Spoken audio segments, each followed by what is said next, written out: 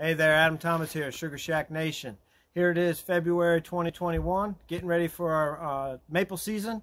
Uh, hopefully only a couple weeks away, or maybe a week, maybe two weeks. Um, but we, you know, our previous videos, we showed you uh, our brand new 2x3 XL Mason uh, uh, evaporator new arch in there. Um, now we've got a brand new 275 gallon tank.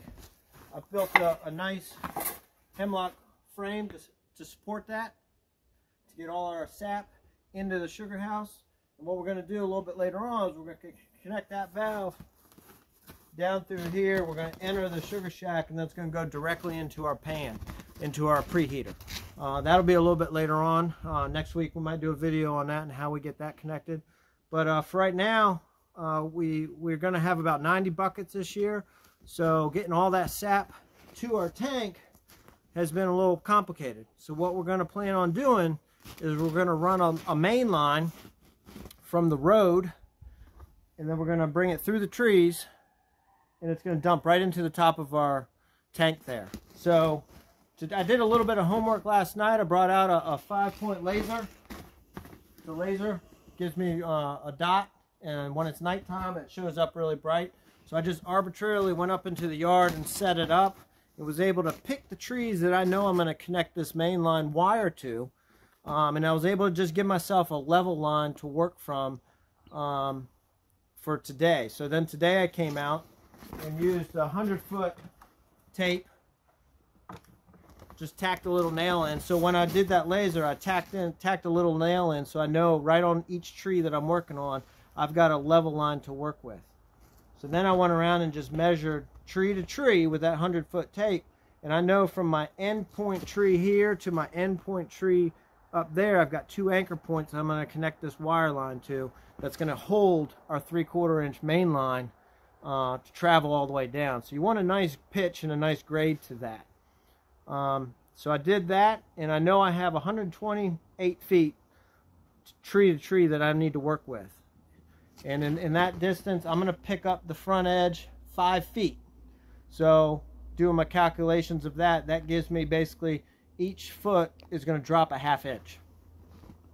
So with that said, I already did a little bit of the work. I got an anchor point here because I know by using that level line in that measurement, I know that from that tree is my last anchor point to the top of my tank I'm 17 inches below right there, which is actually kind of perfect because I've got about a 20 foot span right here.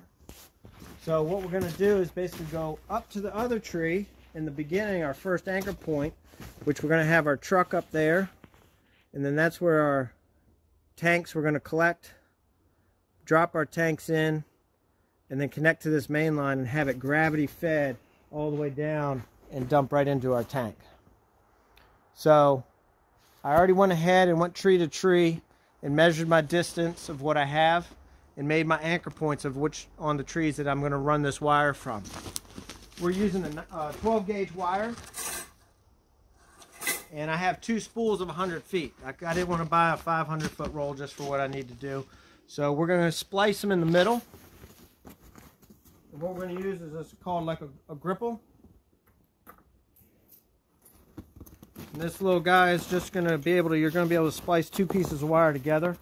Insert one end and insert the other. We're also going to use a little connector here just for a safety backup. If this happens to fail, then these guys will help keep that tension. So uh, let's go on up here to the middle and we'll put this, uh, splice this wire together. So, kind of before I've already spooled out our wire kind of have it kind of going through a couple of points. You can see one's going up through, I put an eye hook up here in this tree. My two ends that I need to splice together are right here. So what we're going to do is we're going to take this gripple. Before I put the gripple, I'm going to put one of these guys on first because he's going to be our backup just in case the gripple fails slide this gripple on and through. And then we're going to do the same thing on the other side. Put this guy on first. And then send this guy. You're going to want probably a good foot past it. And this guy goes in this way.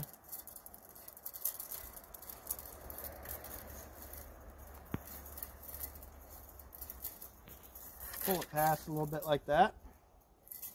Nice. So then we're going to take our back up, put bring it down four inches or so, and we're going to just tighten that up with a little wrench here. And this will just give us a little extra protection. Now you should be able to just go up there. This should hold it, and we're going to ratchet it up there at the front, and that's what's going to make this this line really tight and hang off these trees for the main line to hang off of. So again, these are just backups. So now we gotta have this part done. And I already have this wire strung up all the way to our front. And it's it's sitting on a ratchet. And we're gonna go check out that ratchet up here in a little bit, but we're gonna have to make this end connection first. Because once we start ratcheting it, it's gonna tension this thing really tight. So that's basically our splice that we're going to do. So let's go on back here to the our end point, our end tree. I'm going to grab a couple other connecting pieces here. I'm going to grab another gripple, one piece, and this. So I have an open eye hook up there. Now, a lot of people use eye hooks. If you're hanging a lot of weight on them, um, this is an eye hook. I've, I've, used one up this on the front. A lot of people are using on eye hooks. I'm not carrying a constant load of sap, so my sap's not going to be sitting in here carrying it to a collection point. It's really just passing through it. So the weight on mine of this line is really, I'm calling it not really a main line as much as it's a transfer line. We're basically this is going to transfer our sap that we collect with buckets around the neighborhood and up the road from our bucket in our truck down to our holding tank back here. So it's just passing through it to get it back here because we can't drive down here and I don't want to do it just by buckets in hand. But if you have a lot of weight and you're hanging your main lines for sap season, a lot of people weld these two together. For that weight, it doesn't open these up. So something to think about. I'm not worried about that with the weight that we have here but I still just want it to be held up there. So I'm gonna get up on my ladder. I'm gonna wrap my wire around this guy, put it through, put this guy on to lock it for a backup, then put the gripple through it. So I'm gonna pull it and then it's gonna hook on this hook. I'm gonna get it somewhat as tight as I can, just by, by, by hand. And then we're gonna walk on up there and um, ratchet it down. So let me get up here and do this part first.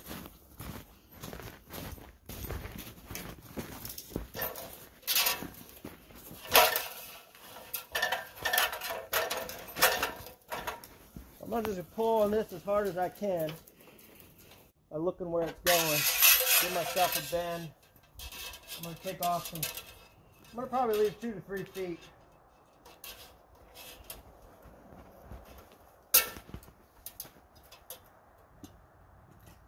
Now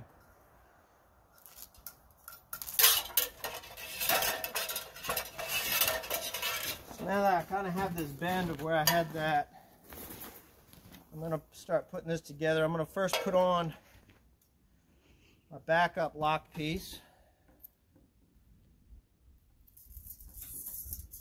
Okay.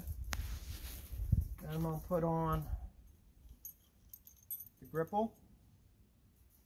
That really just, that this really is the one that locks it together.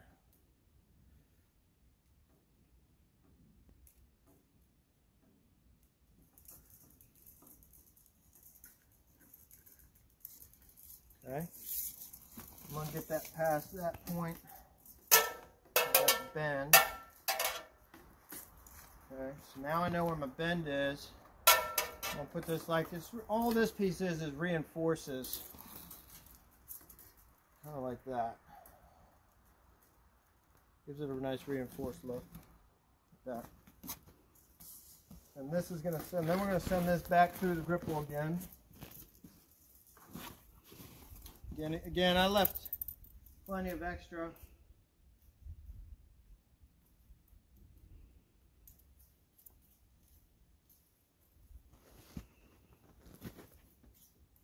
All right.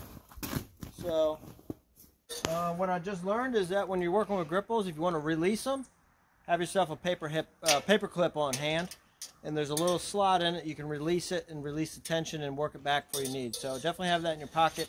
We're gonna do a little break and go find one. So now we're back. We're back. We're ready. I'm gonna put this guy here.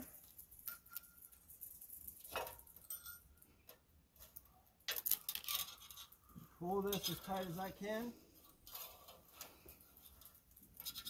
Around that. Be good.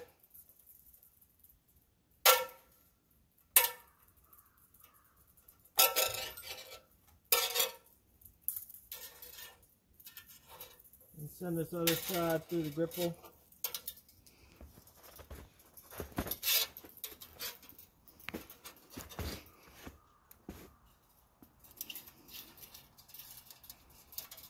That. Now, get back up here on my connection. Pull, twist that around.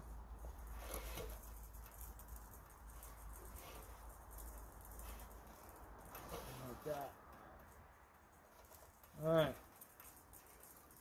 That should work. So then I'm going to take this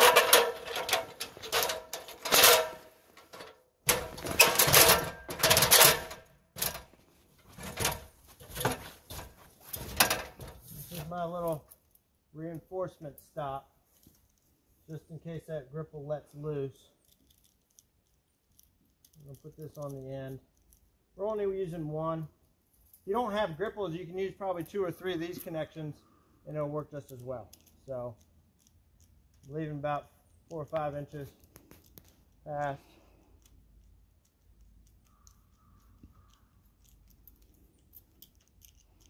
Tighten this up. Nice and tight. Be good to go there. Now while we're here, this is only our last anchor point before we go to the top of the tank. And I'm gonna run a separate wire from the this point to the top of the tank and it's not gonna be nearly as tight or, or have that much tension on it. It's really just to keep it nice and taut to just have not, not that much of a flex for the main line going down to the tank. I don't want the them connected. I won't be able to pull as hard on the tank. So that one's just going to be a little, that'll be a separate little line. So what we're going to do is we're going to walk up to our first tree. We're going to show you our connection up there. And uh, we're going to ratchet this down. So we'll meet you up there, okay?